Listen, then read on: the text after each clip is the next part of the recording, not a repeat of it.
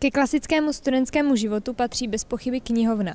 Proto jsme dnes přišli zjistit, jak to tu vlastně funguje. Nejenom knih, ale celkově jednotek máme v knihovně kolem 130 tisíc. To znamená i časopisů například. Protože jsme univerzitní, tak je to především odborná literatura, ale pro studenty řekněme ty zahraniční uh-huh. a hlavně v angličtině, tak tady máme i nějakou beletrii, uh-huh. například uh-huh. Harryho Pottera nejnovějšího. Uh-huh.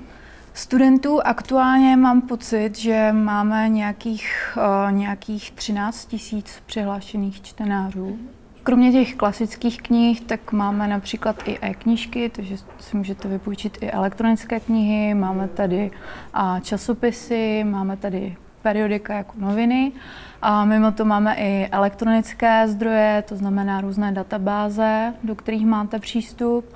A to jsou takové ty základní služby a mezi ty další, tak jsou to třeba zpracování rešerší. Je přístupná i veřejnosti, vlastně tady si může vytvořit konto i externí uživatel, který nestuduje tady na univerzitě a může využívat služeb knihovny. Úplně nejaktuálnější je, že by nám asi příští týden mělo vít náš časopis a další takové novinky. A budeme tady mít košíky pro čtenáře, takže už mhm. nemusíte knížky nosit složitě v rukách. My dáváme knihovně jedničku s hvězdičkou. Přijďte i vy využít její služby.